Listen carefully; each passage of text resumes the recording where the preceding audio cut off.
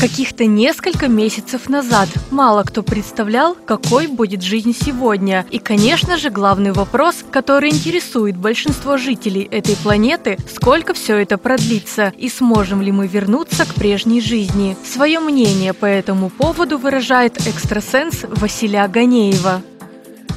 Надо понимать, что это такое и насколько долго оно продлится, чтобы не строить каких-то план, скажем, радужных, да, каких-то, и чтобы потом не расстраиваться из-за этого, потому что, ну, это серьезно. Я вижу, а, что вакцина а, от этого, а, значит, будет создана в конце 2021 года.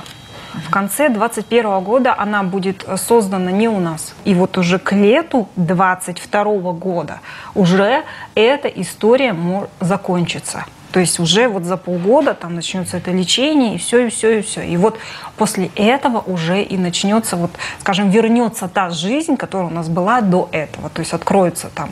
Потому что многие думают, что сейчас, вот сейчас буквально три месяца, и мы уже будем на пляжах все лежать, загорать. Я просто это слушаю и понимаю, что это абсурд. Это абсурд.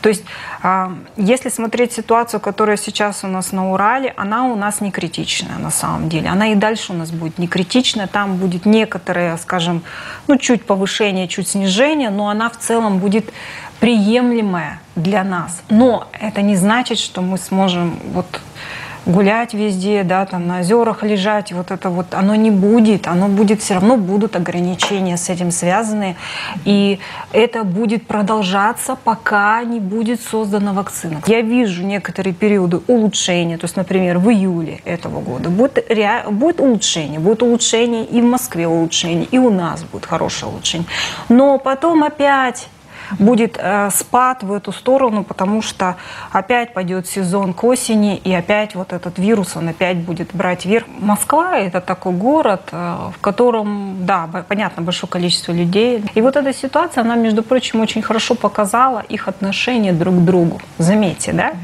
То есть они друг друга не уважают, они друг за друга не переживают. Им все равно друг на друга, вы понимаете, да? Поэтому они и ходили, и шашлыки ели, и друг с другом там обнимались, и там все, все что угодно, да? Вот они сейчас получили вот это вот, вы понимаете? То есть это и есть ответ на их а, отношение друг к другу, им все равно на других. А, он умрет, ну и пусть он умрет, понимаете? А меня это не коснется. Да нет. То есть тут как раз вот эпидемия, она учит тому, чтобы а, чтобы других вот видеть, других понимать, других как бы жалеть в конце концов, а не только себя, вы понимаете? И вот, вот это как раз, мне кажется, важно, вот именно вот это, чтобы со, каждый был сознательным. И мне в какой-то степени приятно, что у нас на Урале народ не такой, что мы все-таки а, пытаемся все это соблюдать и уважаем друг друга. Да? Это же есть уважение друг к другу, что вот мы не э, пытаемся, то есть мы пытаемся друг друга уберечь просто-напросто от заболеваний. А это хорошо, это хороший признак, это значит, что мы хорошие люди.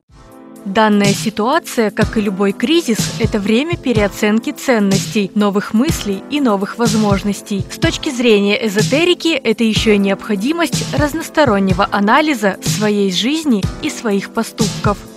Же еще такую ситуацию, скажем, которую сейчас предстоит нам пережить в июне месяце. А у нас будет кризис в стране. Причем кризис будет колоссальный. Вот это будет посерьезней, на мой взгляд, чем вот эта эпидемия. Потому что последствия будут вот этих всех остановок а, производства. Это скажется. И вот именно вот это будет переживаться страшнее народом, чем а, само заболевание. Надо научиться жить и в этих условиях. То есть, да, скоро у нас вот годовщина Великой Отечественной войны, но ведь люди тогда жили, да, и они тоже жили, и они верили.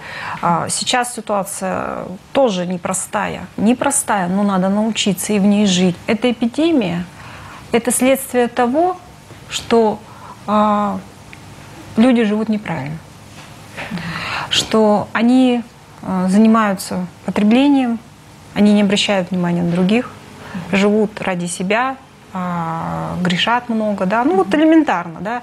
И это некоторая вот такая вот нам, теперь вот такое вот нам испытание зато. Во-вторых, А, некоторая идет чистка общества, а, некоторое сознание у многих может поменяться, у многих может поменяться в сторону семьи хорошие изменения, чтобы мы ценили больше близких, ценили больше мам, ценили больше детей, да, там, семью, там, мужей, жен, там, в конце концов, да.